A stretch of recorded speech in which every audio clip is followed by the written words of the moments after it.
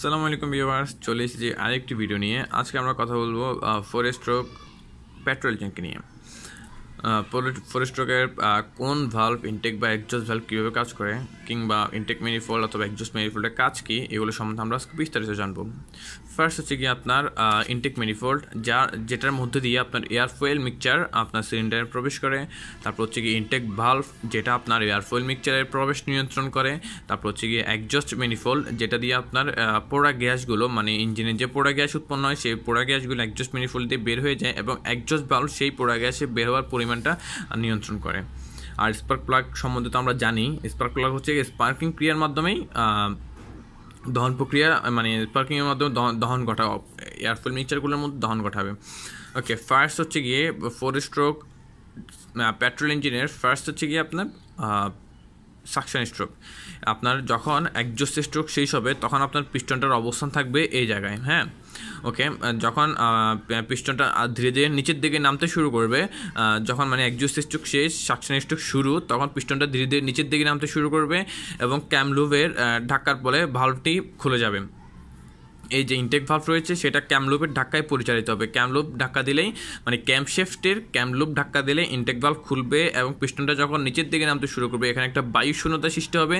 যে বায়ু শূন্যতা আপনার কার্বোরেটরে এয়ারফোল মিক্সচারগুলো হবে এয়ারফোল মিক্সচার থেকে কার্বোরেটর টান দিতে টান দিয়ে আপনার সিলিন্ডারে প্রবেশ করবে। অর্থাৎ এখানে পিস্টনটা নিচের দিকে নামবে, আপনার এয়ার ভেকুয়ামে সৃষ্টি হবে এবং ভেকুয়ামের যে টান, টানের ফলে আপনার এখান থেকে এয়ারফোল মিক্সচারগুলো সিলিন্ডারে প্রবেশ করবে। ওকে এইটাই হচ্ছে কি আপনার সাকশন স্ট্রোক ওকে, এখানে আপনার পিস্টন টিডিসি থেকে বিডিসির দিকে নামতে থাকবে এবং ভেকুয়ামের সৃষ্টি হবে, ভেকুয়ামের ফলে বাইর থেকে এয়ারফয়েল মিক্সচার মানে ইনটেক ম্যানিফোল দিয়ে এয়ারফয়েল মিক্সচার সিলিন্ডারে প্রবেশ করবে। দেন হচ্ছে গিয়ে কম্প্রেশন স্ট্রোক সাকশন স্ট্রোকের পরপরই আপনার কম্প্রেশন স্ট্রোক শুরু হবে। পিস্টন টিডিসি থেকে একবার বিডিসিতে নামবে সাকশন স্ট্রোক শেষ, আবার পিস্টন বিডিসি থেকে টিডিসির দিকে উঠতে শুরু করবে। তখন আপনার কম্প্রেশন স্ট্রোক শুরু মানে টিডিসি থেকে বিডিসিতে উঠবে। তখন আপনার যে এয়ারফয়েল মিক্সচারগুলো ছিল, এগুলো অনেক জায়গা জুড়ে ছিল। এই এয়ারফয়েল মিক্সচারগুলোকে কম্প্রেসড করে কম্প্রেসড করে একটা জায়গার মধ্যে নিয়ে আসে।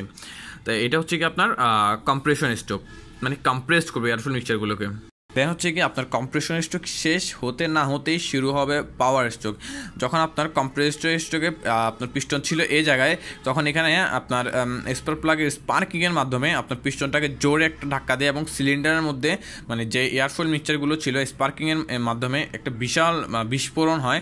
বিস্ফোরণের ফলে পিস্টনটাকে নিচের দিকে ধাক্কা দেয়। এবং ভিতরে যে এয়ারফুল মিক্সচার রয়েছে, সেগুলো পুড়ে যায়। আচ্ছা কম্প্রেস কম্প্রেসর স্ট্রোক এবং পাওয়ার স্ট্রোক উভয় সময়ে আপনার ইনটেক ভাল্ভ এবং একজস্ট ভাল্ভ দুটোই বন্ধ থাকবে। তারপরে হচ্ছে গিয়ে এটা হচ্ছে আসলে পাওয়ার স্ট্রোকের কাজ। বিশাল বিস্ফোরণ হবে, বিস্ফোরণের বলে পিস্টনটাকে জোরে নিচের দিকে ধাক্কা দিবে। দেন হচ্ছে গিয়ে একজস্ট একজস্ট স্ট্রোক পিস্টনটাকে যখন নিচের দিকে ধাক্কা দিল, পিস্টনের অবস্থান হচ্ছে গিয়ে এখানে একজস্ট পাওয়ার স্ট্রোকে এবং পাওয়ার স্ট্রোক শেষ হওয়ার পরে একজস্ট স্ট্রোক শুরু হবে এবং পিস্টনটা উপরের দিকে উঠতে শুরু করবে।